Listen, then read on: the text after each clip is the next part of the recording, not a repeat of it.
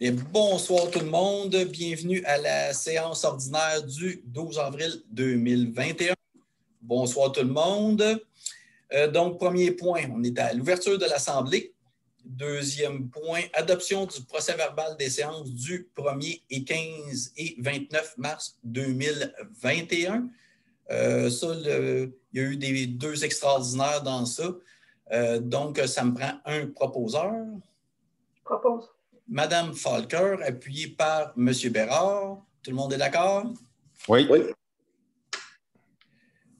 Point 3, aménagement du territoire urbaniste. Donc, le 3.1, c'est c'est le dépôt du procès verbal du comité consultatif d'urbanisme. Le 3.1.1, demande de modification de l'usage conditionnel et de permis PIIA 1968 et 1970 rue Notre-Dame. Madame Falker.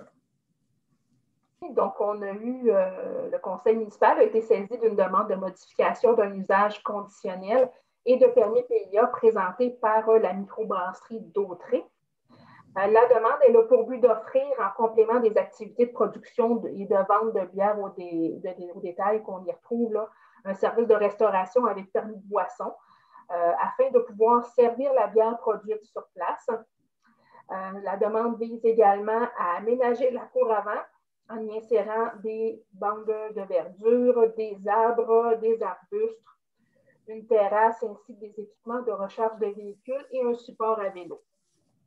C'est un projet, euh, le projet proposé respecte les critères d'évaluation du règlement relatif aux usages conditionnels les plans d'aménagement respectent aussi les objectifs et les critères du règlement de PIA. Euh, on peut voir aussi là, à l'écran ce qui a été proposé comme aménagement là, en front de la bâtisse euh, par le promoteur. C'est un projet aussi qui a reçu une recommandation favorable du comité consultatif d'urbanisme, mais sous certaines conditions. Euh, logiquement, la vie publique, ce n'est pas en jaune habituellement. Là, j'ai comme un petit, il y a eu un avis public là, relatif aux usages conditionnels, mais il n'y a aucune personne intéressée s'est manifestée par écrit. Donc, euh... j'ai pas, pas, pas le procès verbal euh, en avant de moi. Merci, Mme Falker. Donc, il n'y a pas personne, parce que je n'ai pas le. L'entièreté du procès verbal. Donc, euh, il n'y a pas personne qui s'est manifesté. Euh, il y a eu un avis, il n'y a pas personne qui s'est manifesté pour cette demande d'usage conditionnel. Donc, en conséquent, je propose que le conseil municipal accepte la demande de modification d'usage conditionnel et d'aménagement extérieur relatif aux 1968 et 1970 rue Notre-Dame, présentée par la microbrasserie d'Autré, avec les conditions suivantes, par contre. Euh, les activités liées à la restauration doivent cesser à compter de 22 heures. Les boissons alcoolisées offertes doivent se limiter à celles produites sur place. Les activités liées à la restauration, incluant la musique, doivent respecter les conditions visant la quiétude du milieu, c'est-à-dire que l'usage ne doit pas causer aucune fumée, euh, sauf celle produite par le système de chauffage, poussière, odeur, chaleur, gaz, euh, etc., qui pourrait, euh, en, dehors de l'intensité moyenne du bruit normal de la rue et de la circulation environnante, le taux limite du terrain. On comprend qu'il y a un secteur résidentiel autour, donc euh, on a trouvé l'agriculture. La terrasse aménagée ne doit pas excéder une superficie de 60 mètres carrés.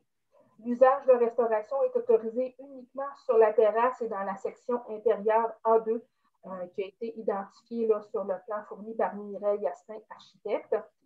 Et à l'exception de l'affichage qui doit faire l'objet d'une demande distincte, les aménagements extérieurs et les équipements proposés donc les bandes de verdure, les arbres, les arbustes, les plantes, terrasses, bandes de recharge de véhicules électriques desservant les tâches de stationnement 1 et 2, les supports à vélo et le lignage de l'asphalte doivent être entièrement réalisés dans un délai d'un an, donc euh, maximum le 12 avril 2022, tel que ça a été présenté au plan d'aménagement extérieur en date du 9 avril.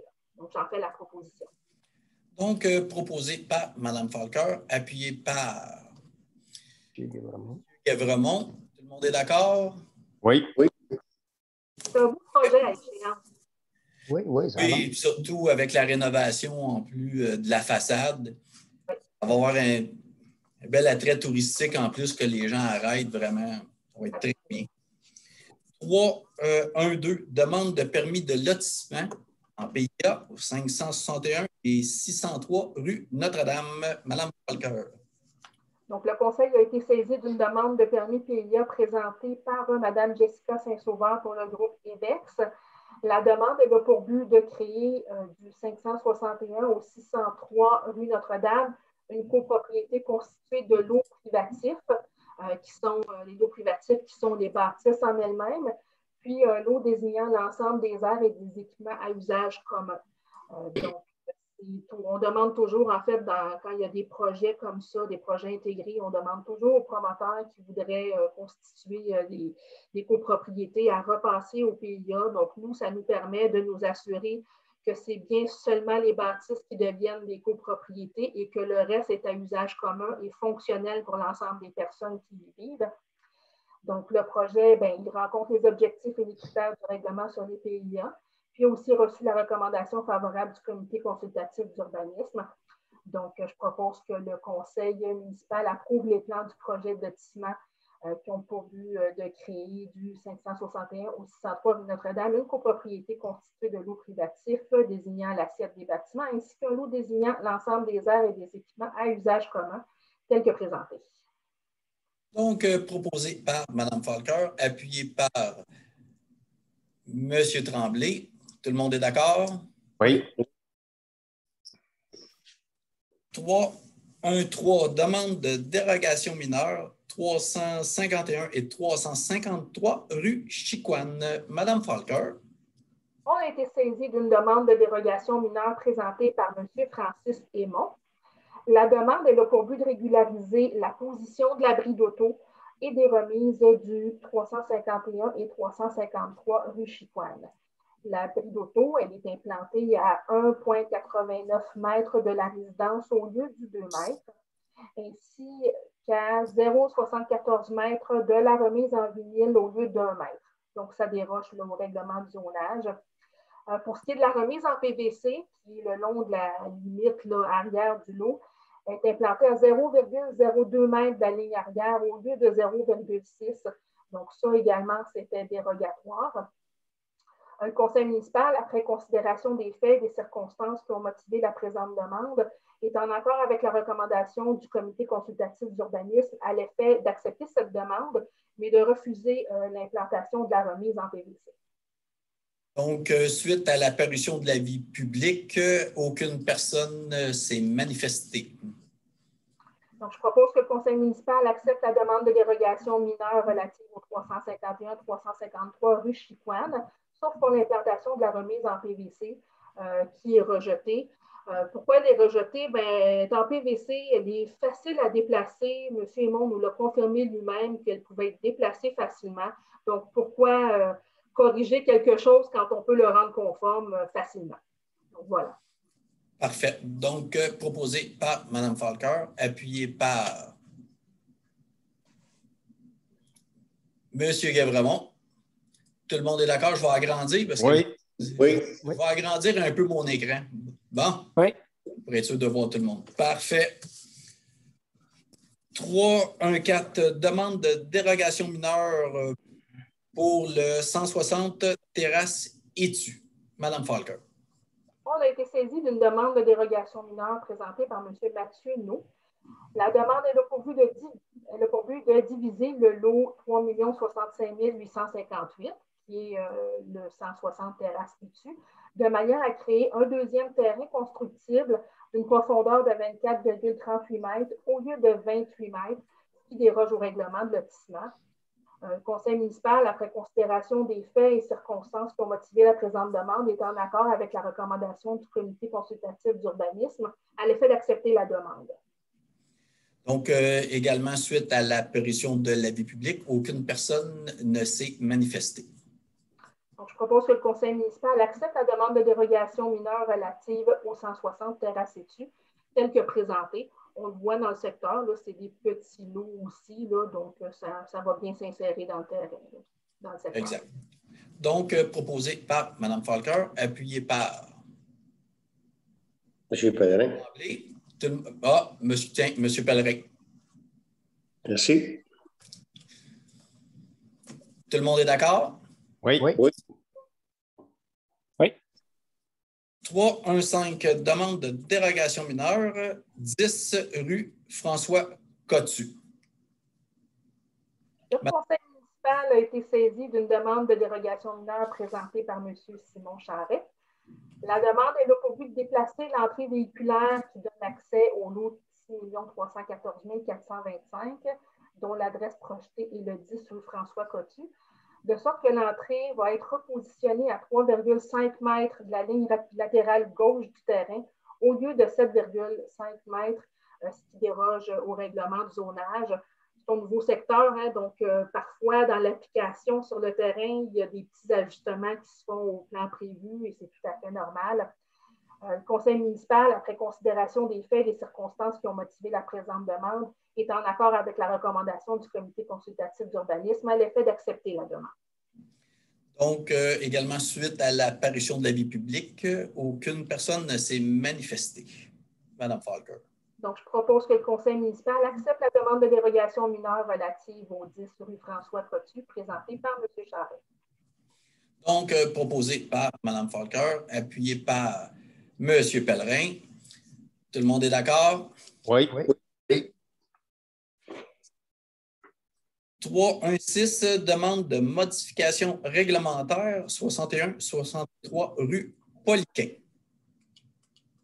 Le conseil municipal a été saisi d'une demande de modification réglementaire présentée par M. Mario Charland. Cette demande, elle vise à régulariser la situation d'un duplex euh, qui a été converti en triplex au 61-63 rue Poliquin. Euh, cet immeuble-là, il fait partie d'un regroupement de quatre habitations multifamiliales qui bénéficient de droits acquis. Donc là-dedans, il y a deux triplex et deux duplex qui sont en droits acquis dans un secteur qui est principalement résidentiel et familial. Euh, il est souhaitable, en fait, de ne pas, euh, de ne pas densifier davantage dans ce secteur-là, au-delà de ce qui est déjà autorisé. Euh, il n'y a pas eu non plus de permis qui, qui venait créer ce troisième logement-là dans le duplex. Donc, c'est un, une demande qui, au final, a reçu une recommandation défavorable du comité consultatif d'urbanisme. Donc, euh, je propose que le conseil municipal rejette la demande de modification réglementaire qui a été présentée par M. Charland. Donc, euh, proposé par Mme Falker, appuyé par M. Tremblay. Tout le monde est d'accord? Oui. oui. 317, demande de dérogation mineure pour le 219 et 229 rang du Golfe. Mme Falker le Conseil a été saisi d'une demande de dérogation mineure présentée par M. Benoît Brault. La demande est elle a pour but de subdiviser le lot 64 147, euh, ça c'est les adresses 219 et 229 rang du Golfe, afin d'agrandir le lot 3 65 145, qui est le 231 rang du Golfe, donc le voisin juste à côté. Euh, au regard du règlement de lotissement, cette demande-là comporte les aspects dérogatoires suivants. Donc, euh, le lot projeté aurait une superficie de 2674,8 mètres carrés au lieu de 4000 mètres carrés, une profondeur de 36,92 mètres au lieu de 75. Euh, le lot projeté euh, le 231 rang du lui, aurait une superficie de, de 2460,7 m au lieu de 4000, puis une profondeur de 34,14 mètres au lieu de 75. Euh, le conseil municipal, après considération des faits, des circonstances qui ont motivé la présente demande, est en accord avec la recommandation du comité consultatif d'urbanisme à l'effet d'accepter la demande. Donc, évidemment, suite à l'apparition de l'avis public, aucune personne ne s'est manifestée. Donc, je propose que le conseil municipal accepte la demande de dérogation mineure relative au 219-229 rang du golf présentée par M. Brault. Donc, euh, proposé par Mme Falker, appuyé par M. Guévremont. Tout le monde est d'accord? Oui. oui. 318, demande de permis de lotissement en PIIA pour Gilivert. Mme Falker. Donc, ça, pour ceux qui ne reconnaissent pas le coin, on est dans le, secteur industriel. Donc, c'est dans le parc industriel. Le conseil a été saisi d'une demande de permis PIA présentée par les entreprises Gilivert. La demande, elle vise à effectuer une opération cadastrale qui a pour but de prolonger le tracé de rue du parc d'affaires et du prolongement de la rue Lucien, comme illustré au plan euh, qu'on a ici à l'écran, produit par Éric Landry, arpenteur géomètre. Euh, c'est un projet qui rencontre les objectifs et critères du règlement sur les PIA. Puis il a également reçu une recommandation favorable du comité consultatif d'urbanisme euh, sous condition. Donc, je propose que le conseil municipal approuve les plans du projet de lotissement qui ont pour but de prolonger le tracé de rue du parc d'affaires tel que présenté par les entreprises d'hiver, conditionnellement à ce que la portion carrossable de la rue soit alignée à, angle droit à la jonction du chemin Georges. Parfait. Donc, euh, proposé par Mme Falker, appuyé par M. Bérard. Tout le monde est d'accord? Oui. 319, ben, c'est la même chose, mais demande de permis de lotissement euh, pour complexe 4031. C'est exactement dans le même secteur. Il euh, faut comprendre qu'il y a deux propriétaires principaux dans ce secteur-là du parc industriel. Donc, on vient, euh, avec ces deux dossiers-là, on vient boucler le réseau des rues dans le secteur du parc industriel. Donc, euh, le Conseil a été saisi de cette demande de permis PIA présentée par le complexe 4031. La demande vise à effectuer une opération cadastrale qui a pour but de prolonger le tracé de rue du parc de comme illustré euh, au plan qu'on peut voir à l'écran, qui sont également produits par Éric Landry, arpenteur géomètre. Le projet rencontre les objectifs et les critères du règlement sur les PIA. Il a reçu une recommandation favorable du comité consultatif d'urbanisme. Donc, euh, je propose que le conseil municipal approuve les plans du projet de lotissement ayant pour but de prolonger le tracé de la rue du parc d'affaires tel que présenté par complexe 4031, euh, conditionnellement à ce que la portion carrossable de la rue soit liée en droit à la jonction du chemin Georges. Voilà. Donc, euh, proposé par Mme Falker, appuyé par M. Bérard. Tout le monde est d'accord? oui. On passe au 3.1.10, demande de permis PIIA, 1080 et 1082 rue Notre-Dame. Madame Falker, bonne nouvelle. Oui, c'est le fun, ça. Euh, le conseil municipal a été saisi d'une demande de permis PIA présentée par Gestion Jugeau. Euh, le projet vise à rénover le bâtiment situé au 1080-1082 rue Notre-Dame par le remplacement du revêtement mural, des portes et fenêtres, des galeries, des fascias et des sophites, de certains détails ornementaux, ainsi qu'à verdir une partie de la cour avant, telle qu'illustrée aux esquisses qu'on nous a déposées et que vous pouvez voir à l'écran. Donc, c'est vraiment une belle revitalisation de cette bâtisse-là. Euh, les plans de construction et d'aménagement paysager respectent les objectifs et critères du règlement PIA. Et puis également, le projet a reçu une recommandation favorable du comité consultatif d'urbanisme. Donc, je propose que le conseil municipal approuve les esquisses du projet produit, euh, du projet produit par euh, le service d'aide conseil en rénovation patrimoniale, euh, daté de février 2021. Voilà. Donc, proposé par Mme Falker, appuyé par Mme Charette. tout le monde est d'accord? Oui. oui. Un beau petit service là, que les gens auraient intérêt peut-être à connaître plus. Là, euh, peuvent recevoir aussi euh, une aide pour faire la réalisation des esquisses, puis même une aide pour la réalisation des rénovations. Donc, euh, vraiment, vraiment intéressant, puis ça va donner un très beau résultat sur la rue Notre-Dame. Définitivement. C'est très beau, ça va être très bien. juste pour les gens, par contre, c'est bon, souvent on est dans des petites abréviations, hein, PIIA, mais s'il y a des gens qui nous écoutent moins souvent, hein, c'est excusez-moi, le plan d'implantation d'intégration architecturale. Donc, c'est ça un PIIA. On en a tellement de. Hein? Donc, euh, point suivant, 3.2, euh, demande d'autorisation de démolition 421-423 rang du Point de Jour Sud. Madame Falker. Le conseil municipal a été saisi d'une demande d'autorisation de démolition présentée par Ferme JCC La Haise. C'est un projet qui vise la démolition d'immeubles situés au 421 et 431 rang Pointe du Jour Sud. Donc, suite à l'apparition d'un avis relatif à la demande d'autorisation de démolition par lequel les personnes intéressées étaient invitées à se manifester par écrit, il y a quand même des personnes qui, se sont manifestées. Par contre, le conseil municipal, après l'étude de la demande aussi, l'ensemble de, ce qui nous, de ce qui nous a été déposé, les différents critères, donc on entend accorder l'autorisation de démolition pour ce projet-là. Donc, on autorise la démolition du bâtiment. Donc, euh, proposé par Mme Falker, appuyé par M. Bérard. Tout le monde est d'accord? Oui.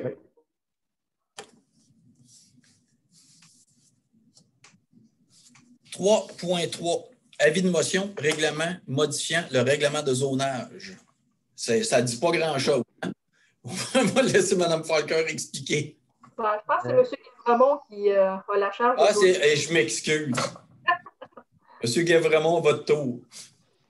Euh, oui, euh, je, Justin Guévremont, conseiller de cette municipalité, donne avis de motion qu'une prochaine séance sera soumise pour adoption un règlement visant à modifier le règlement de zonage numéro RRU2-2012 et plus spécifiquement à interdire le remplacement d'un usage dérogatoire de la classe véhicule motorisé, et ce, même s'il s'agit d'un usage de la même classe. Dans le fond, ce que ça veut dire, c'est que quand on a un droit au niveau des, euh, de, la réparation de véhicules, de la mécanique automobile, euh, dans cette classe-là, des fois, ça peut s'extensionner à divers services qui peuvent être offerts, dont euh, la, vente automobile, etc. Donc, ce que ça vise, cet avis de motion-là, c'est de restreindre à l'usage de mécanique automobile le, droit de, fonctionner là, dans, ce commerce-là. dans la zone C3, c'est euh, passé euh, à l'est de, de, la rue Saint-Antoine en s'en allant vers euh, la Norette. Donc, cette information vise à restreindre l'usage de, de mécanique automobile.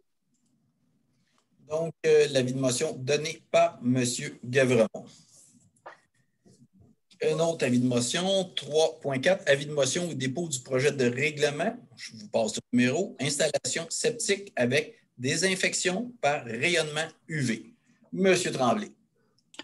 C'est un avis de motion donné par moi-même qui vient euh, rajouter une possibilité d'installation septique dans le cas où euh, ce ne serait pas possible de faire autrement. Donc, euh, ma collègue, Mme Falker, tantôt a parlé de notre zonage industriel, notre développement industriel, ben, quand on vient bouger de la terre, puis qu'on vient faire du remblai, puis qu'on vient aménager, des fois, c'est plus possible d'avoir une installation septique standard. Ben, on vient rajouter cette possibilité-là. C'est une possibilité qui désinfecte par rayonnement UV. Donc, c'est carrément des réacteurs UV qui viennent désinfecter euh, carrément euh, au niveau de l'eau. Ça désinfecte super bien. Euh, fait que c'est seulement dans des cas où ce serait pas possible de faire autrement. Fait que c'est un ajout d'une possibilité et on vient le faire avec des conditions euh, que le gouvernement nous impose, des conditions, entre autres, au niveau de l'inspection.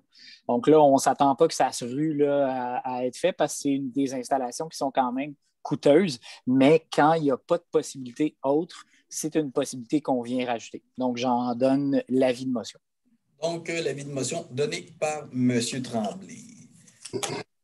3.5, dépôt certificat d'absence. Ben, ça, c'est un dépôt, c'est le dépôt de certificat d'absence de demande de participation au référendum.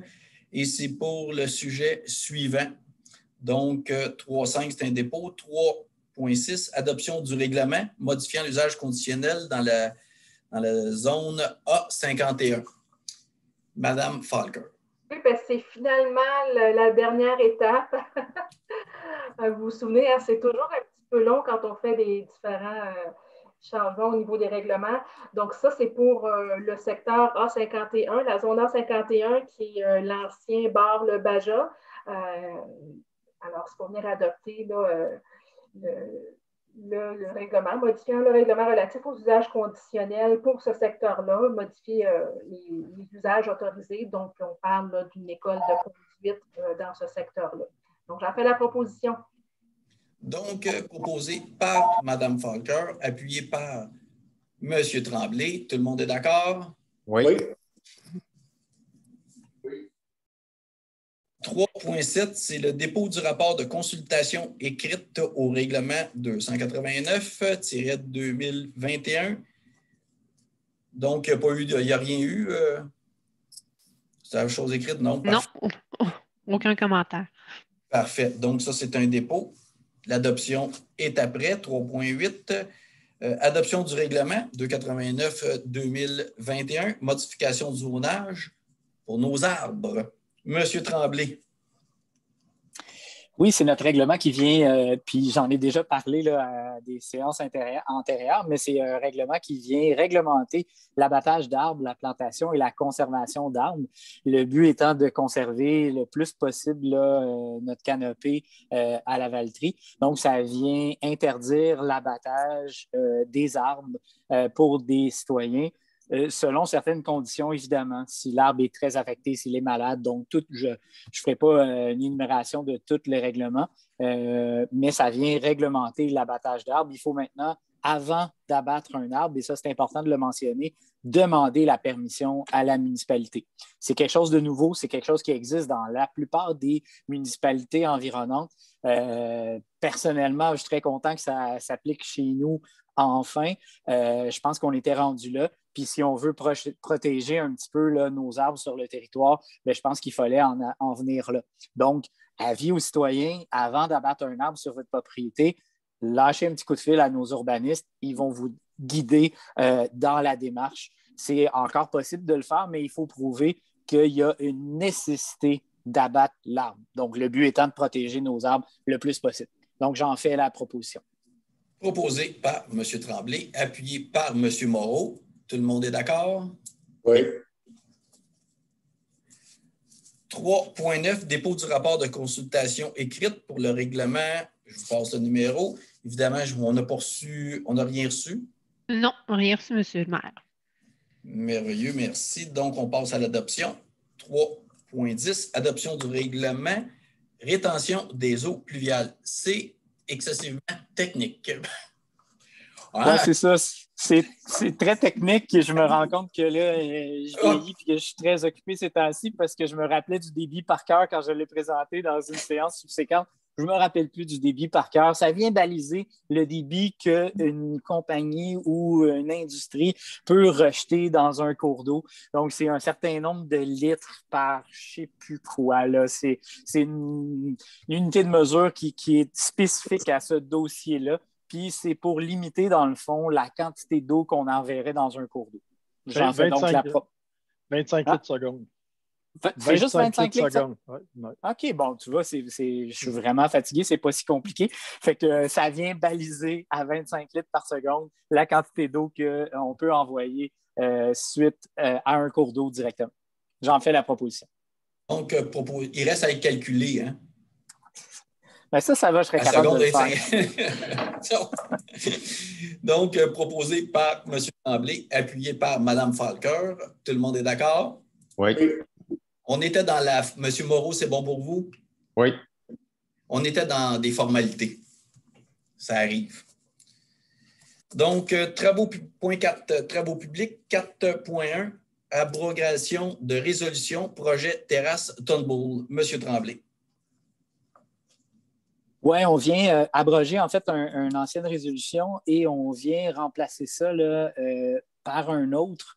Donc, on va donner mandat à Maître Madly Laporte du bureau Laporte et Associés de préparer les actes de servitude de passage euh, d'entretien pour les infrastructures d'aqueduc. Quand on municipalise, des rues, on se garde un droit euh, de passage pour les aqueducs si jamais, ben, je dis aqueduc, mais c'est égout sanitaire aussi et pluvial pour que le service d'incendie puisse implanter dans le cadre du projet intégré, puisse, euh, euh, qu'on puisse maintenir ces services-là que le directeur général, M. Marc-Olivier Marc Bro, oui, soit autorisé à signer pour et au nom de la Ville.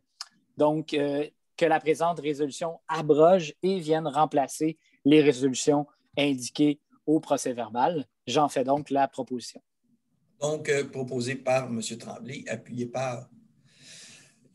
Excusez. C'est rendu qu'on est toussé. M. Gavramo. Tout le monde est d'accord? Oui. Parfait. 4.2, adoption du règlement 290-21, obligation d'installer des protections contre les dégâts d'eau. Monsieur Tremblay. Là aussi, c'est un peu technique. C'est quelque chose qui est déjà prévu dans le Code du bâtiment, mais on vient euh, adopter un règlement qui oblige, dans le fond, euh, toute maison à installer une protection contre les dégâts d'eau. Donc, je l'ai déjà expliqué, c'est une technicalité. C'est déjà prévu dans le Code du bâtiment. J'en fais la proposition. Donc, euh, proposé par M. Tremblay, appuyé par Mme Falker. Tout le monde est d'accord? Oui. Oui. 4.3, demande, mandat, excusez, mandat notaire. Vous l'avez dit, euh, Mme Charrette, que je m'enfargerais dans un mot, c'est sûr. C'est fait. On passe. Mandat notaire, acquisition d'infrastructures et de servitudes de passage et d'entretien, projet intégré, monté Guy Mousseau. Monsieur Tremblay. Moi, ça fait déjà plusieurs fois que je m'en farge, fait que je ne m'inquiète plus. Euh, on a parlé du projet Turnbull tantôt. Là, c'est pour le projet sur la montée Guy Mousseau et la rue des, des Encolis. C'est le même principe. Je m'étais enfargé sur la municipalisation. Ah, j'ai réussi à le dire. Donc, quand on municipalise, ben, on se garde euh, euh, le droit de venir intervenir au niveau aqueduc, pluvial, sécurité incendie. Donc, j'en fais la proposition. Donc, proposé par M. Tremblay, appuyé par Monsieur Pellerin, tout le monde est d'accord? Oui. oui. Et comme tantôt, j'autorise M. Bro à signer pour et au nom de la ville. C'est une technicalité, mais ça va de soi. M. Bro qui signe. 4.4, euh, autorisation de signature et approbation de l'excédent de fonctionnement non affecté, halte de la Valtrie. Monsieur Tremblay.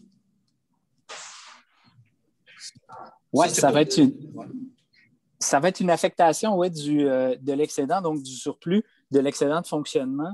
Euh, pour deux raisons, là, si je ne me trompe pas, puis là, je vais peut-être avoir besoin d'aide, M. Bro, mais dans un cas, c'est euh, grossir une canalisation afin de préserver puis de dévier pour ne pas hypothéquer un égout qui, qui, est là, qui est déjà présent. Donc, il y a comme un fossé existant et on va venir détourner pour amener ça dans le pluvial ce qui est beaucoup plus judicieux parce qu'on le sait à travers les années, là, puis surtout avec le réchauffement climatique, ben, les fossés se minent et on a déjà des problèmes comme ça dans certaines, euh, dans certaines régions de la ville. Fait que là, on prévoit, puis on vient dévier le plus directement euh, dans le pluvial pour préserver ce fossé-là.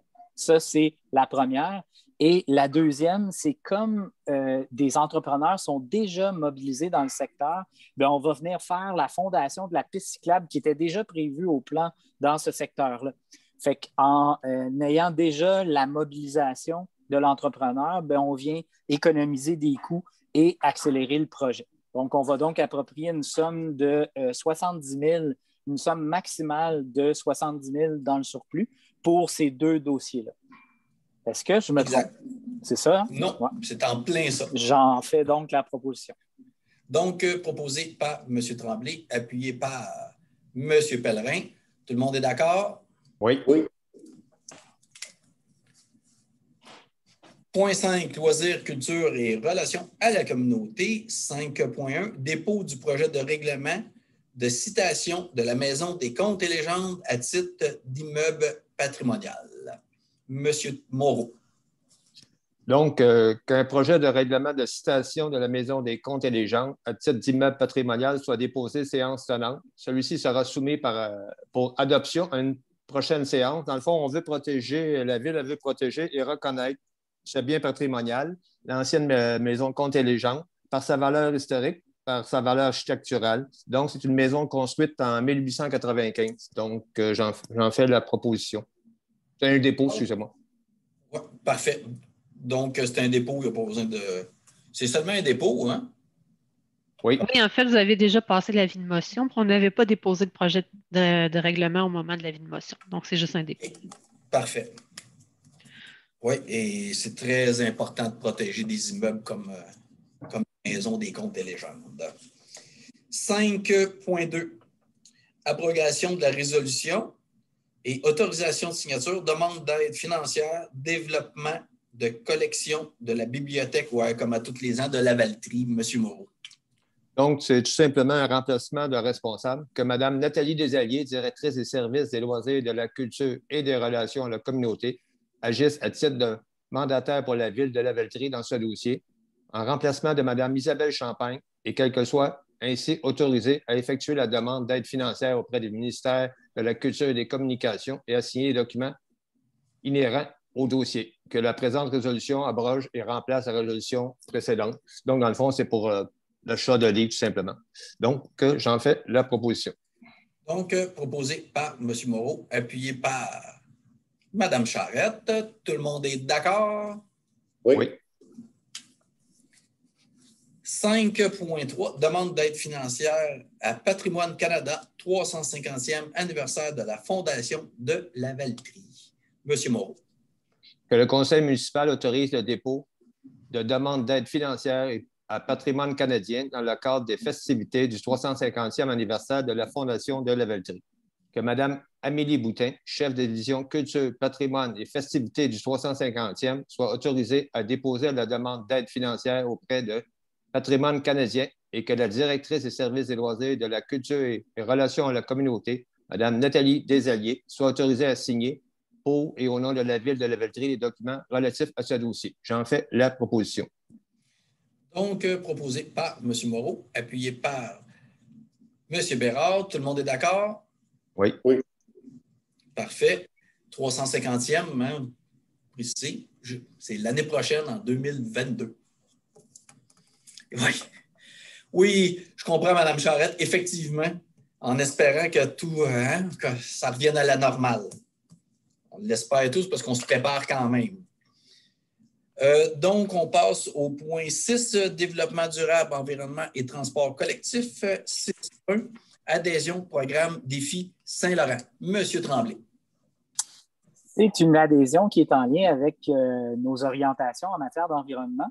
Donc, on, se rappelle qu'on on, s'est engagé au programme Communauté Bleue en 2020 qui euh, amenait la ville à euh, s'engager à éliminer graduellement la vente et l'utilisation des bouteilles d'eau à usage unique lors de ces événements et de ces activités.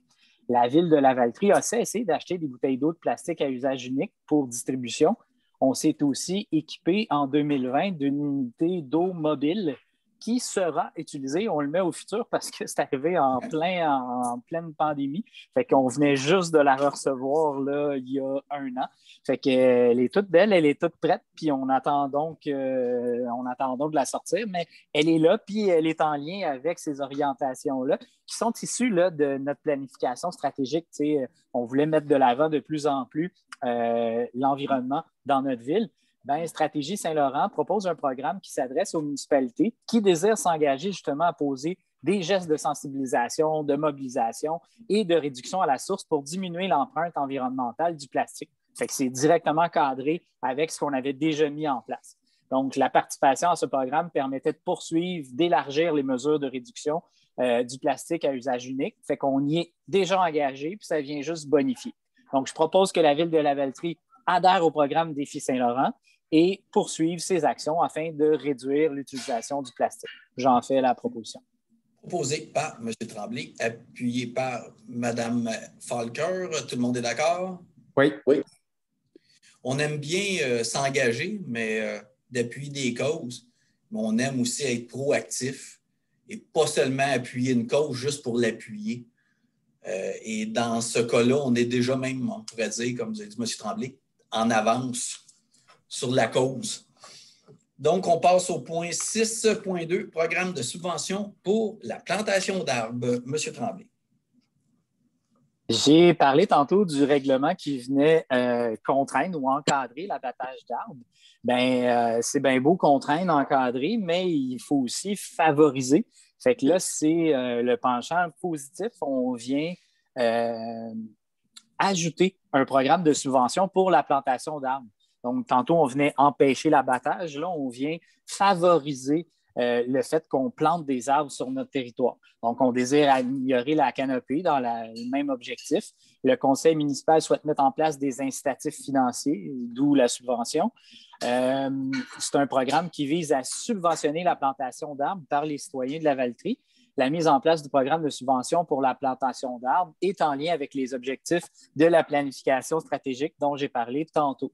Donc, je propose que le Conseil attribue, par l'entremise de ce programme, un montant équivalent à 50% du coût d'achat d'un arbre, taxe incluse, jusqu'à concurrence de 100 par arbre. Ce programme vise uniquement les citoyens, non les entreprises privées.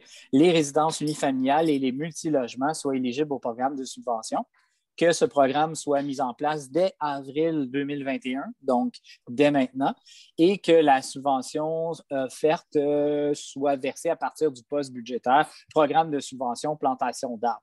C'est un montant annuel de 4 000 qui est affecté à ce programme et c'est sous un processus là, de premier arrivé, premier servi quand l'enveloppe euh, sera euh, épuisée ben, ce sera un beau problème pour nous. On l'adressera rendu là. Ce qu'on veut, c'est que ce soit épuisé, puis ce qu'on veut, c'est qu'on plante des arbres. J'en fais la proposition. Donc, euh, proposé par M. Tremblay, appuyé par Mme Charrette. Tout le monde est d'accord? Oui. oui. On passe au point 7, administration, ressources humaines et financières. 7.1, embauche et nomination, manœuvre, parc et bâtiment. Monsieur Gavremont. Oui, j'ai euh, ouvert mon micro à temps cette fois-ci. Euh, donc, euh, oui, c'est pour. il y avait un poste vacant de ma, au poste de manœuvre, parc et bâtiment. un poste en partiel de 10 mois. Donc, suite à la recommandation de la conseillère en ressources humaines, Mme Karine Brousseau, euh, je vous propose de retenir la candidature de M. Euh, Mathieu Robert et euh, pour le poste de manœuvre paquet bâtiment pour 10 mois par année, que cette nomination soit effective à compter de lundi prochain, le 19, et que la numération soit celle de la convention collective à l'échelon 7 de la fonction de manœuvre paquet bâtiment. Que, que M. Robert soit soumis à une période d'essai euh, prévu à la lettre d'entente à cet effet, puis que les autres conditions soient prévues à la convention collective. Donc, j'en fais la recommandation. Donc, euh, proposé par M. Gavremont, appuyé par M. Moreau. Tout le monde est d'accord? Oui. oui. Évidemment, c'est des postes accomplis euh, suite à des départs. Hein? Oui. on passe embauche et nomination inspecteur en bâtiment. M. Gavremont. Oui, euh, dans le même ordinaire, on avait un poste d'inspecteur en bâtiment qui était vacant avec euh, euh, une, campagne de recrutement assez originale qu'il y avait eu dans ce cas-ci sur les réseaux sociaux. Madame Karine Brousseau, conseillère en ressources humaines, recommande de, retenir la candidature de Madame Claudie Anne Grenon au poste d'inspecteur de bâtiment au service de l'urbanisme. Ça, c'est un poste qui est à temps plein. Euh, que cette nomination soit effective à compter d'aujourd'hui même et que la numération soit privée à la convention à l'échelon 1 de la fonction inspecteur de bâtiment, service de l'urbanisme, et que Mme Grenon soit soumise à une période d'essai de 575 heures travaillées et que les autres conditions euh, sont soumises à la convention collective. Donc, je fais la proposition proposé par M. Gavremont, appuyé par M. Moreau. Tout le monde est d'accord? Oui. Ce poste-là, tiens à préciser, c'est un ajout au service. Euh, évidemment, euh, le service d'urbanisme est un service essentiel à la population euh, qui est excessivement sollicité par les temps qui courent. Et c'est un service de première ligne hein, aux citoyens pour des permis donc, euh, pour répondre à la demande, ben, c'est important de faire un ajout d'inspecteur en bâtiment. Passons au point suivant, 7.3. Dépôt du rapport d'embauche. Ah, ça, c'est un dépôt du rapport d'embauche et de démission, délégation de pouvoir directeur général. Donc, euh, c'est des pouvoirs qui sont donnés à M. Bro. C'est pour ça, c'est quand justement on engage des personnes à temps partiel que ce soit pour des événements ou pour des choses récurrentes. Oh! Monsieur Moreau, euh, Monsieur euh, Bro, je vous ai vu faire un signe de tête, là. Fait qu'il y a quelque chose que. C'est pas des personnes, non, c'est des temporaires ou des saisonniers seulement. Temporaires ou saisonniers. Merci. C'est les, euh, la précision. les gardiens de PAC ou ces choses-là. Oui, exact. Donc, c'est seulement un dépôt. 7.4 avenant mandat EXP, projet de construction et de réfection d'infrastructures municipales. Monsieur Tremblay. On s'apprête à faire en fait euh, une réflexion majeure des infrastructures dans le secteur de Arcan, euh, l'Espérance. Ça fait plusieurs fois qu'on en parle. C'est un projet majeur qui dépasse les, les 10 millions de dollars et on va profiter de l'occasion pour venir boucler notre réseau, euh, à aller chercher complètement au bout là, dans le coin de la petite rivière. Donc, aller chercher le rang Saint-Jean Sud, je pense, puis aller chercher euh, le bouclement par la petite rivière. Fait pour faire ça, ben, ça nous prend une expertise euh, d'ingénierie et on va mandater en date du 31 mars 2021. La firme EXP euh, a déposé un avenant de contrat de 43 570 pour venir prévoir ces travaux-là. Donc, je propose que le conseil municipal autorise un avenant de 43 570 à EXP pour ce que je viens de décrire. Euh, les dépenses vont être assumées par le, règlement d'emprunt pour la réalisation de ces travaux. J'en fais la proposition. Donc, euh, proposé par M. Tremblay, appuyé par M. Pellerin. Tout le monde est d'accord? Oui. oui. 7.5, une, une bonne nouvelle, contrat d'aménagement Parc de la Colombe. c'est. Voyons, je suis là. C'est moi. Entendu que la ville de la Valtrie souhaite euh, réaménager le parc de la, la Colombe, que le conseil municipal octroie le contrat à l'atelier Goéland Incorporé pour l'aménagement du parc de la Colombe au coût de 83 370 avant taxe, selon les conditions décrites à la dite proposition. Que cette dépense soit imputée au règlement d'emprunt que M. Marc-Olivier Brault, directeur général, et M. Marc-André Desjardins, trésorier, soient autorisés à signer pour et au nom de la Ville le contrat relatif à ce projet. Dans le fond, c'est le suivi de nos packs. Dans le fond, c'était projeté. Je ne sais pas si on peut le voir, le, nouveau projet qu'on veut présenter dans le parc de Colombe, non? Parce que c'est un, beau parc qui ressemble un peu comme au parc de la rue Rose. Donc, c'est très bien. J'en fais la proposition. Donc, euh, proposé par M. Moreau, appuyé par Monsieur Tremblay. Les mains se sont toutes levées en même temps. Donc, euh, tout le monde est d'accord? Oui. Oui. Ça va être très beau. 7.6, autorisation de signature bail de location maison ancestrale. Monsieur Moreau.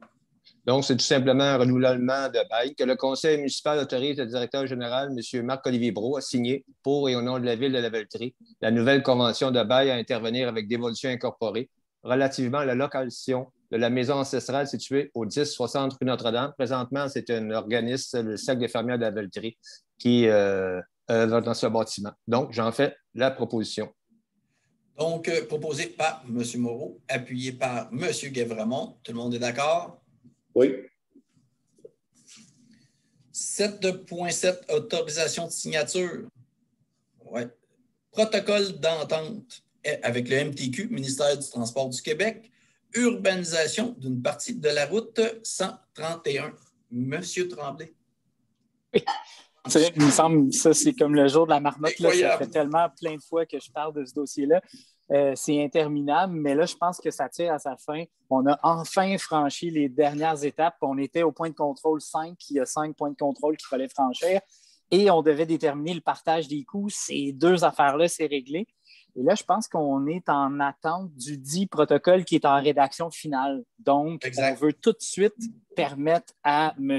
Christian Goulet, maire de la Valtrie, et M. Marc-Olivier Brault, directeur général de la ville, à signer pour et au nom de la ville, fait qu'on devance dans le fond euh, pour que dès que le protocole d'entente nous arrive, ben, il soit déjà prêt à signer puis qu'on puisse enfin entamer les démarches et qu'on puisse faire avancer ce dossier-là. Euh, je vous le dis, là, je pense que ça y est.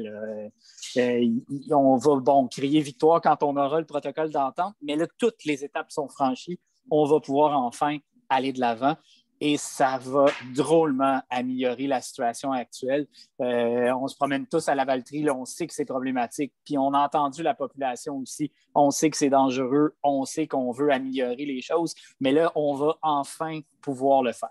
Fait que j'en fais la proposition. Donc, euh, proposé par M. Tremblay, appuyé par M. Moreau.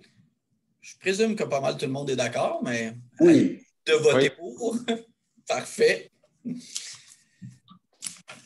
7.8 mandat Bélanger-Sauvé, procédure légale, prescription euh, acquisitive.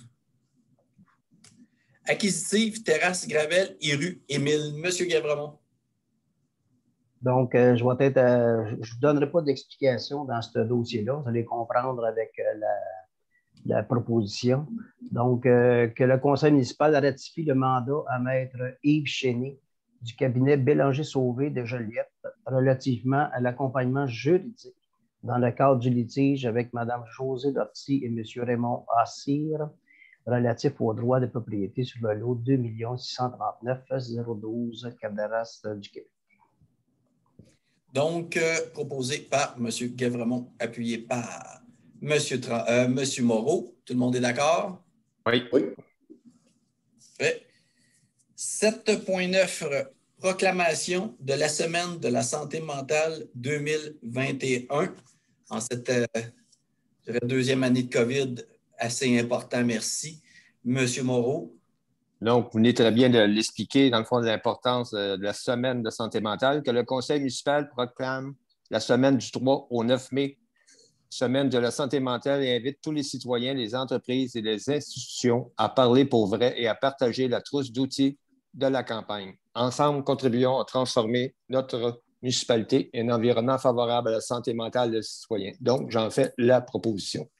Proposé par M. Moreau, appuyé par M. Tremblay. Tout le monde est d'accord? Oui. 7.10 Soutien financier, Association des trappeurs professionnels du Québec. Oui, euh, c'est ils, font œuvre utile euh, pour aider euh, euh, à éviter qu'il y ait des débordements des fois avec certains animaux. Donc, ils nous font une demande de, 50 en frais de financement. Donc, c'est pour autoriser cette somme-là à l'Association des trappeurs professionnels. Parfait. Donc, proposé par M. Gavremont, appuyé par M. Moreau. Tout le monde est d'accord? Oui. Oui.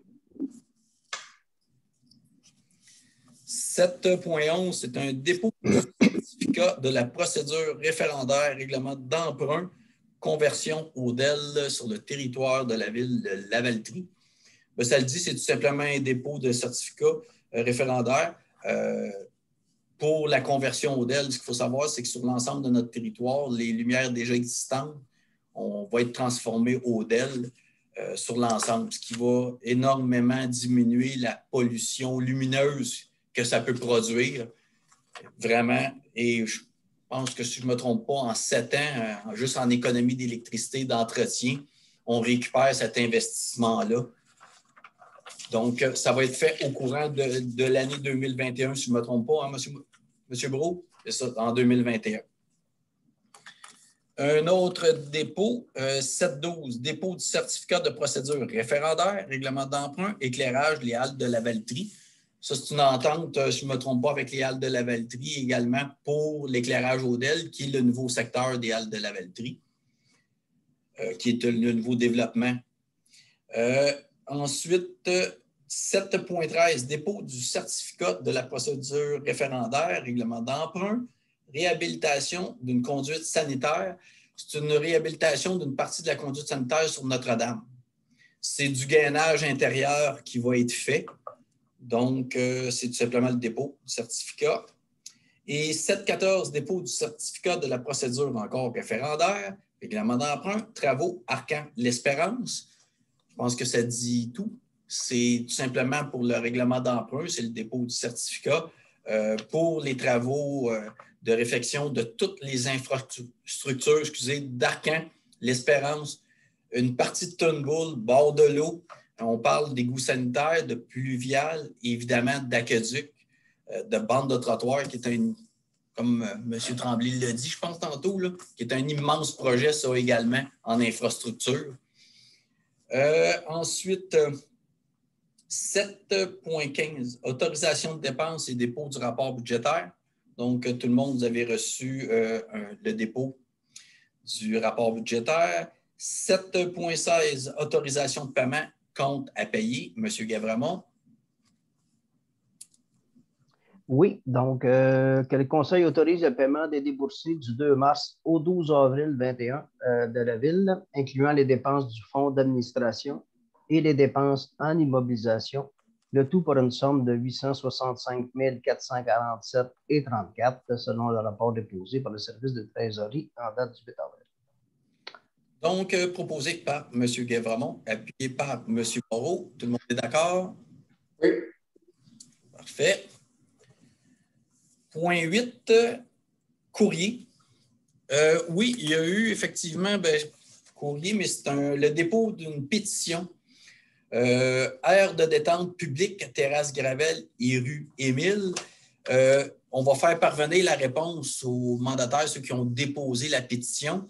Sauf que euh, je vais quand même lire, parce aussi que tout le monde est et tout le monde en toute la même chose. Je vais lire la réponse qu'on donne à ceux qui ont déposé la pétition.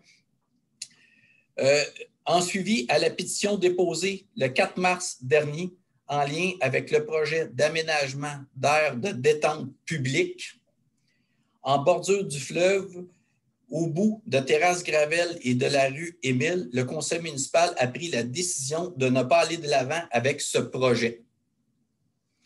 Conformément aux orientations de sa planification stratégique, le conseil municipal souhaite redonner à la population lavaltoise un accès au fleuve et aux espaces verts qui le bordent, afin d'améliorer la qualité de vie des citoyennes et citoyens. Dans ce but, il était de notre volonté d'implanter du mobilier urbain, simplement euh, des bancs puis des tables à pique-nique, sur le terrain de la ville, dans votre secteur, afin que les gens du quartier puissent jouir pleinement de cette percée sur le fleuve. Avec le dépôt de cette pétition, nous comprenons que cet intérêt n'est pas partagé par les résidents de votre quartier. Ainsi, la ville ne procédera pas aux investissements envisagés pour l'été 2021. Donc, évidemment, ben, cette réponse-là sera envoyée aux citoyens, euh, aux ceux qui ont déposé la pétition euh, dans le quartier. Euh, c'est tout pour le courrier. Ensuite, point 9, période de questions. On n'a reçu aucune question. Par contre, j'ai vu circuler des questions à propos des ventes de garage et des ventes de trottoirs. Évidemment, euh, vous comprendrez qu'avec la situation actuelle, euh, les ventes de garage du 22, 23 et 24 mai euh, sont annulées. Je pense qu'on n'a pas besoin de plus d'explications. On ne peut pas créer de rassemblement. Donc, on ne fait aucun événement qui pourrait créer des rassemblements. Donc, ces ventes de garage-là sont annulées. Il y en a un autre, je pense, un peu plus tard dans l'année, je pense c'est septembre, Hein, à peu près. On avisera quand on sera rendu là parce que toute la situation change de jour en jour. Autre commentaire ou question de votre part? C'est bon pour tout le monde. merci beaucoup de votre présence. Monsieur le maire, il faudrait procéder à la levée de l'Assemblée. Monsieur le maire, il faudrait ah! procéder à la levée de l'Assemblée. Chance, chance qu'il y en a qui me surveillent. Hein? C'est toujours bien accompagné. Je vois Mme Charon qui regarde pour être sûr que je ne passe pas de point à, l'ordre du jour. Donc, levée de l'Assemblée proposée par M. Moreau, appuyé par M. Bérard. Tout le monde est d'accord? Oui. Parfait. Merci beaucoup tout le monde. Bonne soirée. 我说。